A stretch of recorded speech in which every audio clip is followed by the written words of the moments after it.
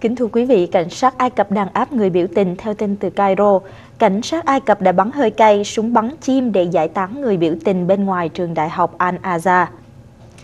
Người xuống đường bày tỏ sự ủng hộ đối với Tổng thống Mohamed Morsi là Tổng thống được bầu lên trong một cuộc bầu cử tự do lần đầu tiên trong lịch sử Ai Cập và quân đội lật đổ ông ta trong tháng 7 năm ngoái đã mở ra một chương sử đẫm máu chưa từng có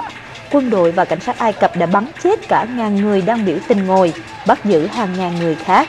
Tổng thống Morsi và hàng ngàn thành viên của phong trào quân đệ Hồi giáo đang bị truy tố đưa ra toàn với nhiều tội, trong đó có tội âm mưu cùng Hamas và Hezbollah xâm lăng Ai Cập.